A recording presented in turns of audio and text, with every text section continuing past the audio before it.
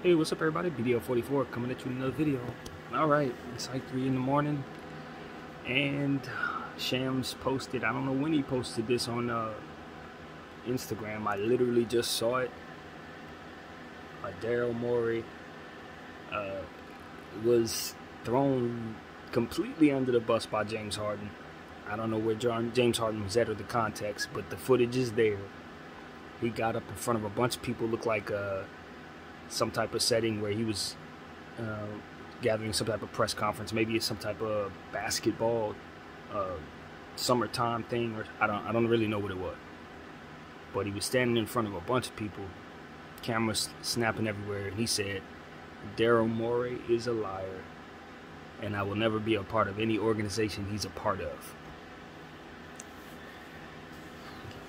Scorched earth, man. Complete scorched earth. You talk about having this go as left as possible. It went as left as possible. I'm not really sure if this is not entertainment. Just gonna tell the people what comes to mind first when I watch stuff like that, since I'm a speculator, a fan, somebody that doesn't have any connections to anybody. I get this stuff just like everybody else does. And I'm telling you, after watching the NBA all of my life, sometimes I think the players are in cahoots with the organization of the association to promote the league during the summertime and they will go scorched earth on something like this to keep us talking. I personally think I personally think James Harden is doing his part. I think James Harden is doing his part. I think James Harden is promoting the league. I think James Harden is giving us something to talk about the dog days of the summer. I really do. I don't think this is as much as the truth as it is WWE type stuff. I really do. Because at the end of the day, just two weeks ago, with all of these same situations in place, it was said that James Harden would be willing to return to camp for Philly. Something broke down, trade didn't go through, and now he's going scorched earth. Based on the tea leaves I read, and when I say tea leaves, all the stuff that I gather in situations when I listen to the information. Now, granted, I ain't been on point as of late. To be honest with you, if you guys been following my channel, the dog days of summer have been just that for me. I didn't even know there was a basketball game yesterday, so I'm I'm not exactly my my best self. But based on what I'm reading, it this should not be what's going on at all. Philly should be more than ready to move on from James Harden because they have a bigger priority in place, and that's Joel Embiid. okay, they don't have, they can't do this with James, in my opinion. They did this with Ben, but to be honest with you, Ben was a bigger star at the time based on his age and what they were expecting of him at the time, the fact that they had drafted him and he had already been an all star in their uniform. It was a different story that was a younger player. James is an older guy. James got promised some things that he probably should not have believed were coming his way based on what the perception of his game would have been anyway. So, in other words, for example, somebody comes over to me, looks at one of my paintings, one of my art pieces, and, and offers me $7 million for it.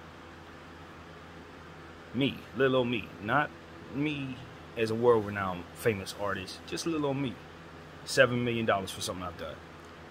Now I could believe that they're going to pay me seven million dollars for what I've signed. I can agree to take that money, and they can even choose to pay me that seven million dollars. But make no mistake about it, I don't believe that anything I've made should be sold for seven million dollars today. Now, if I somehow go on to be a great artist, and, and you go back and look at some of my old pieces, and suddenly after something has already sold for four or five million dollars, then you look at another one of my pieces, say, yo, that's even better piece, let's sell it, and and that is the price of what I have going. Fine, but to just assume that something that's not necessarily righteous in terms of what I should be paid should be coming my way just because somebody told me that they would pay me that. You see where I'm going with that? James Harden should not be being promised to make max dollars at this stage in his career So whoever promised him that sold him some smoke that he shouldn't have believed in the first place, and that is just as much his fault as anybody who told him that. James Harden, ain't nobody supposed to be paying you no more than $35 million this year, bro. They not. Not based on what we've seen. Why? I'm gonna tell you the truth, man. Because of this type of stuff. When you do this, as in I'm unhappy where I'm at and now I want to move on, and I'm gonna tell everybody how unhappy I am, and I'm gonna protest like somebody did something wrong to me. When you do that three times in your career, it dilutes your value as a player because now I have to work into the account into the price you doing that. You see what I'm saying? Dame Lillard never done this. So when he demands a trade, it's a different conversation. Because the likelihood of him staying where he's going next is high based on what we've seen and the tendencies of the player. He speaks to loyalty. The situation went left, he needs to leave, he demanded out. It's not the same game, it's not going to be treated the same. Even though Dame is having a hard time moving, nobody's going to refuse him an opportunity to get what he's deserving in this league based on his behavior being loyal. James Harden diluted that. He diluted that in Houston, demanding out of there. He diluted that in Brooklyn, demanding out of there. He's diluting it now in Philly. And because of it, Philly was not inclined to pay him what they were promising him. And he shouldn't have been buying that. And as in somebody told you that and you believe that, you shouldn't have been buying that. Signing anything in regards to people promising you to give you stuff you don't deserve is not real. They use your ego against you, bruh. Your inability to identify that your price tag had dropped put you in a position to allow that ego to be manipulated by people who ultimately were in their best interest for you to think that way about yourself. You see what I'm saying? It's in their best interest for you to believe that they were going to pay you something that no one else would so that they can uh, ultimately do this. Now, granted, this is what comes of it. When you do something like that to James Harden, you know he's gonna throw a fit. He protests everywhere he go. Why would you do this to him? Didn't seem like the greatest vision for the Philadelphia 76ers to begin with.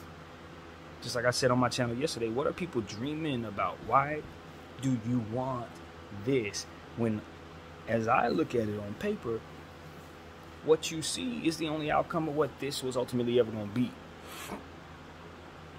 And so for me, I just look back and say, well, James Harden wants out of a basketball situation, a normal Monday morning. You know what I'm saying? And it's just, did he get duped? If what the stories are told, yes. He was told to opt in to something that he likely should have opted out of, or opted out of something he was likely supposed to opt in. I don't remember. I think he was supposed to have a $35 million ex, uh, expiring situation where he could opt into. I believe that's how that went.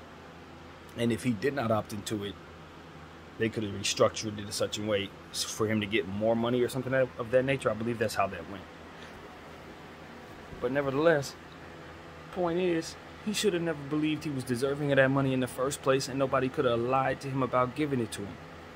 That, my friends, is the type of self awareness that is so very important, and awareness of one's price tag is so important in the NBA, especially when you're a superstar trying to negotiate certain things for your future. The NBA is not inclined to give you a certain amount of money. And based on what they expect you to do later. I was listening to Gilbert Arenas talk about this, and I think I think the way that he wants to look at it is not the way that it actually is structured. He wants us to look at it as the next contract is you paying me for what I've already done. I've done this, this, this, and this and now you're going to give me maximum money for the next several years to solidify that it's been done. But what I'm telling you is that is not the way you want to structure your basketball team. It may be the righteous way to pay somebody for their services, but it's a horrible way to build a foundation for a basketball team because what you've already done, I'm to have to pay you significant amount of money for it. And it's not about what you've already done that I'm actually paying for when it comes down to putting these basketball teams together. So that may be the righteous way for Gil to feel like he's getting what he deserves based on I did superstar stuff. Now it's time for me to get superstar pay. But that ain't how you structure the foundation of trying to make sure your team is any good. Because if I pay that dude what he's worth based on what he's already done, he's eating up a ten, eating up half of the cap space, and the rest of the team is trash, and he can't live up to that no more because he don't play like that no more. That's what he used to do. That ain't what he's doing now. And his a, a portion of the cap space is kicking our butt now, based on him not playing that well and everybody else not being on the team because of it. He eating up all the money. We can't afford those guys. So it's like, nah, Gil, nah, no, no. I'm paying you for what I think you're about to do, bro. And that price tag that you're capable of reaching in regards to these negotiations is what is a reflection of what you've already done. But if I don't think you can do that again, I'm not going to pay you that. It's not in my best interest to pay you that. Not if I'm the GM. And so it's like, nah, that players got to get it in their head right now. It may be in your mind fair for you to be paid for what you've already done, but once you start being responsible for putting together that basketball team, you can't do business that way. You cannot do business that way. And because you can't do business that way, from within the player's perspective, they got to know that. Bro, I can't pay you $16 million. You're 37 years old and you're not going to play no more than 40 games going forward just because you've been a superstar for the last 10 years, fam. I got a team I'm trying to build here. I can't not do that. System don't allow it. So players need to learn from this. Don't get duped by people who are making promises to you, to you, that don't even make sense to you if you're assessing yourself properly. Don't buy that. Don't don't don't let people sell you garbage, fam. Because it's in their best interest to sell you garbage. And the next thing I'm gonna say is this: if a GM is doing his job correctly, you're getting lied to in a lot of cases because there's too many different interests, and, and an NBA owner's uh, uh, opinion can change any moment. While I'm working on something, they can change their mind.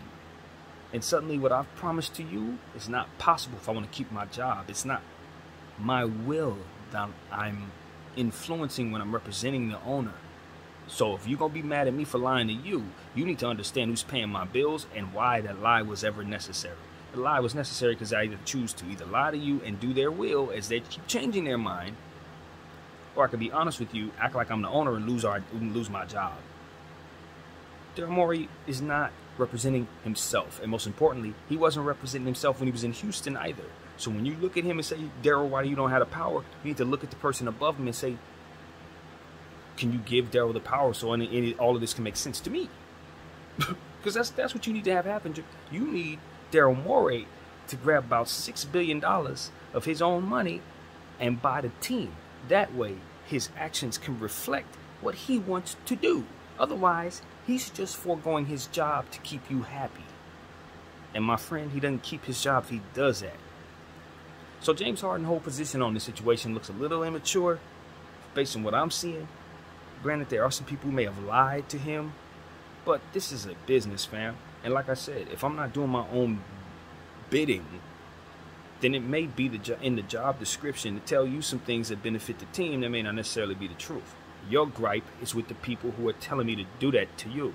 Don't go up on stage and bash me like I got some type of power. I ain't got no power, fam. I got a job, and if I want to keep it, I better do what I'm told.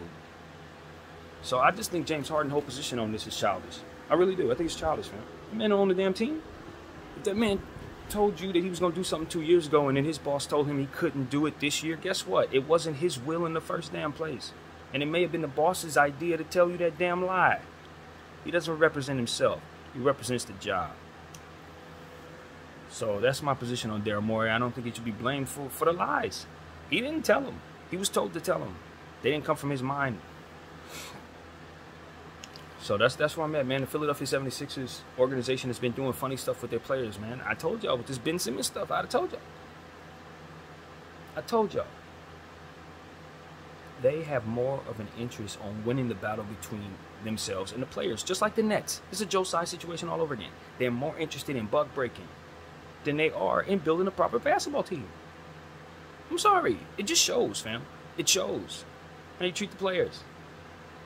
Ben Simmons that situation, y'all shouldn't have been trying to hold on to that boy. He couldn't hit a jump shot. He was a scared, he was afraid to shoot the ball. Afraid. Phobia. Mental health. Y'all didn't see that before he opened his mouth about his mental health?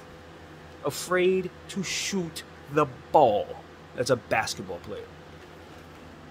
The very definition of something wrong with someone's brain. So, like for me, it's like he didn't have to tell me he had mental health problems. I was disappointed in the world for not believing him for having for saying he had mental health problems. He didn't have to say it. The guy was afraid. Shoot. So for me, it's like yo, all of this is just like out of touch people who have no sense in regards to assessing people's mental health trying their very best to inflict their will upon people who are unwilling to begin with. Ben Simmons was unwilling, James Harden was unwilling, and you knew that when you brought him to the situation. Having dealt with Ben Simmons, why would you request or dream up the idea of bringing James Harden to you? When you had just dealt with Ben Simmons, you had just dealt with Jimmy Butler. And your solution is to bring yourself yet another person who could potentially be upset based on the way that we do things here? What are we signing up for? Y'all better hope Joel Embiid don't follow me, man. that's all I gotta say. Y'all better hope he don't follow BDF44. Because if he's been following me for the last couple years, he's starting to understand the reason behind why it's now time to start thinking about getting the hell out of Philadelphia before the season starts altogether. You're not gonna move this guy, you better move me. Don't have us on the hook with this dude for another wasted Ben Simmons like season where somebody's sitting on our bench, 35 plus million dollars of cap space, not playing basketball, not being injured and you want me to go out there and lug at seven feet tall, 300 pounds, play MVP for you again, only for it to go out in the second round again. I'm not doing it if I'm him, and I'm telling him, don't do it. Get the hell out of there for your knee bust out, and you end up out of this league trying to drag a team that doesn't even have the interest of winning as a forefront. Get out of there. Get out of there. Shouldn't be nobody left but Tyrese Maxey in Philadelphia when this crap is over. I'm sorry, Philly fans. It's enough is enough, man. Enough is enough.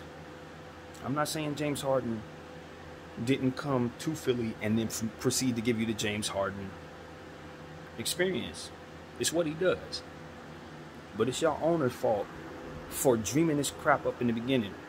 Hiring Daryl Morey with the intention of getting James Harden. This is what you dreamt of. This is what you asked for. This is exactly what it looked like was going to happen.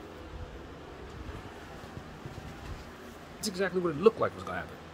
When he left Brooklyn, came to Philadelphia, I could assure you, I could assure you he wasn't going to be the same James Harden he was from Houston. And that's exactly what they were bringing him for. He had already proven himself time and time again to have issues in the playoffs. Issues with durability, issues with all kinds of stuff, and you're bringing him to be Joel Embiid's second. That just, uh, and promised to pay him all kinds of money that you knew damn well you didn't want to pay him, that you knew damn well last year he wasn't due. He wasn't due to make that for what you were promising him then. This it was a terrible vision that did not have championship ceiling attached to the end of it. What it likely had was this scenario attached to the end of it. Telling y'all, man, there's certain teams in the Eastern Conference. I'm sorry. I'm sorry. Some in the Western Conference, but the ones in the East are the ones that come to mind. Y'all priorities appear to me to be more so about controlling the minds of your subordinates, people, players, making it so that everybody in the future knows not to mess with you. But what you don't understand is by holding that position, you mess with yourself. Because now I don't want to go to your team. I don't want to go to your team because your vision's bad. I don't want to go to your team because you're going to lie to me about what it is you think I'm worth. I don't want to go to your team because you don't see the foresight in and the wisdom in simply not doing so based on the drama that can come later on. It's just bad. From what I understand, Tobias Harris has been complaining about his minutes and playing time I had heard that tea leaf a couple times, but I don't think I mentioned it on this channel. It is now on the forefront of my mind. He too wants the hell out of there, has an expiring contract, probably very movable. Maybe it's time to turn our attention to trading him, Daryl. Maybe that's the move. Because if he's disgruntled and he has that much of the cap space that he's eating, maybe if you trade him, he can create some flexibility to make change the dynamic of the team to make it more desirable for the pieces who are left behind. James Harden got to be there. Maybe if you move Tobias Harris for the right package, it can make the team a little better. Team a little attractive, more attractive. I don't know, but this is the move. Since he's unhappy, likely ain't gonna resign with you. on a very, very expensive contract that should likely be able to be moved, it's time to move it. You know, it's time to move it. now, if I thought Tobias Harris was happy in Philly, and I had intentions of re-signing him at a price that I appreciated next summer, I would be less likely to keep him. But since he's obviously unhappy here, the likelihood of him re-signing with me is slim to none. So I need to incorporate that into my thinking and move accordingly. so these are the things that I'm thinking about with Philly. And uh, you know, as far as James Harden's concerned, he ain't going nowhere. Bro, you can't do stuff like this and expect anybody to want you on the other side of the negotiation table, fam.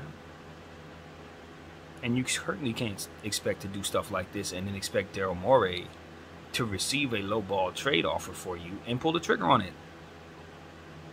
Think about it. So that's where I'm at with that. I just think people are, are doing things for entertainment purposes because any other reason, looking at it from behind the scenes, it looks like the wrong move. And it looks like there would be a lot of people around him telling him it's the wrong move and not to do it.